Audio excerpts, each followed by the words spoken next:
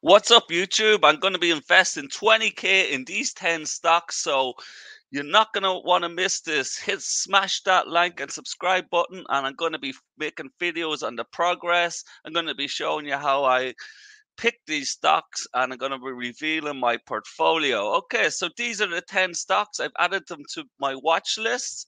So I have set up a new long-term eToro account. It's called Enda Trading. I'll leave the link in the description so you can follow me. And I'm going to be investing in at least 10 stocks and some ETFs like the NASDAQ 100.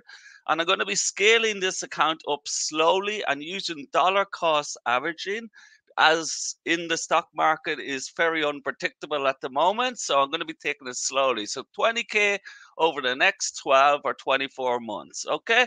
So the 10 stocks I'm going to be adding to my portfolio are Activision, which make Call of Duty, Citigroup, Colgate, Delta Airlines, General Motors, PayPal, Plug Power, QSR, and this is a brand that runs lots of the franchises like Burger King, uh, Visa, and then I have another company, but eToro hasn't added it yet, which is called ZIX Corporation, and it's a new emerging IT company. But I'm hoping that eToro will add that to their system soon, as they're all, always adding new stocks.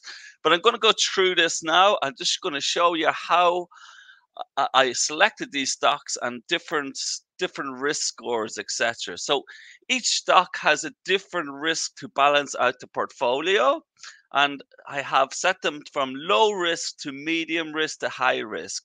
Okay, so I have the expectation that high risk stocks like Plug Power here will give me more return, but a safer investment like Colgate here will be a, a, a, slower growth stock, okay, a staple, it'll be like an anchor for the portfolio.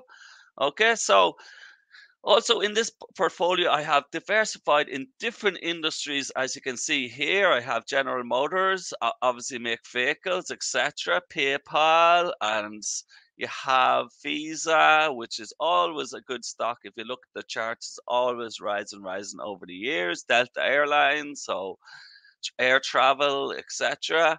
And lo- lots of just diversification there, which is really important. Then you have the food industry here. And also, I, I have anchors for the big money that big money is backing. Okay, so big money are backing some of these stocks like PayPal, Activision, Colgate. So the big hedge funds are backing these companies, and these will be more low risk because in the time when problems come in the stock market, these hedge funds usually don't sell as fast as retail investors and they hold the stock and they buy more of the stock when it drops. Okay. So I'm going to just show you here some of the risk score I have made out. And I've made out this risk score from working with my mentor who's a successful, experienced trader. Okay. And I've worked out with him on how these stocks are marked on the risk score. And he actually, on his trading platform, it actually does it automatically. But I'm going to be also showing you how uh, I evaluate these investments and how I'm going to research them, etc. And I'll show you that in a minute. But um, so so Activision, I have medium risk on this one. So Citigroup, medium risk. Colgate is low risk. It's a consumer staple. I have Delta Airlines as a medium risk, General Motors low risk, PayPal low risk, Plug Power as its emerging market is going to be high risk but high return hopefully. Restaurant Brands International low risk, Visa low risk, and then ZIX Corporation is going to be a high risk. I put it as medium risk to high risk, but I put that change that later to high risk.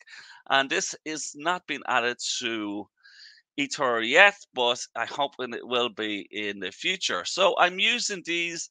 I have diversified, okay, and I'm using Yahoo Finance to search these companies, okay, and I'm going to go through that first, but I'll just show you how I diversified with different stocks here. So I have Activision, it's a growth stock. Um, Citigroup is going to be dividend stock, and Colgate is a consumer staple. Everyone knows it.